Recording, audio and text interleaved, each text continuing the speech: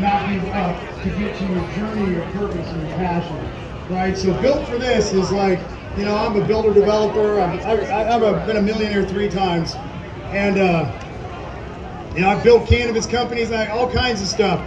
But my biggest growth and my biggest connection to God is always at the bottom when I collapse.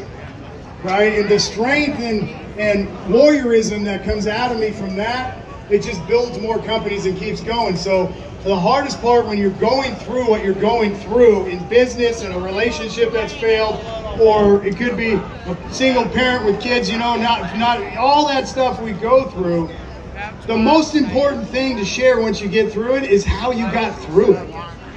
People need to know that. When I, you know, I went to a last time on my downturn, I had a gun in my mouth. I was suicidal. The only reason I didn't is because of my son lost $10 million company, $3.5 million overnight, three years ago.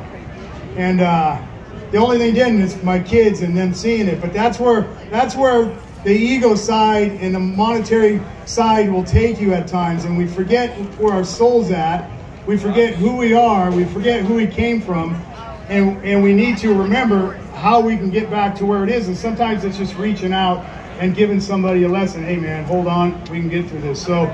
Knowing that and knowing where we're going, built for this podcast was born, and we talk about the real fucking shit the crisis moments and how we got through. I don't care how much weed you fucking smoked. I don't care how big a business is and money you got. It means nothing to me. It's how did you get through your shit to get to where you're at? That's what counts. You know? Facts, right?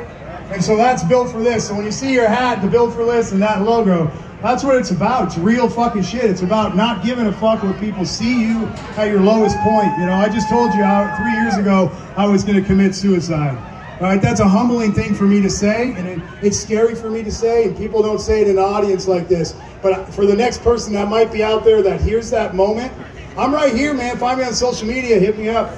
We're in this together. And uh, being alone, you're being alone, man. It's not a good place to be. So, Amen.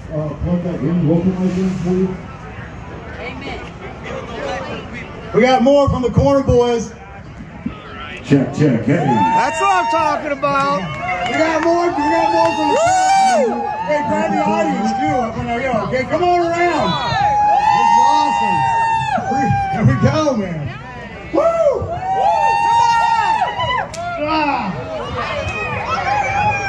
All right, online. If you need it in your wallet, put your hand up.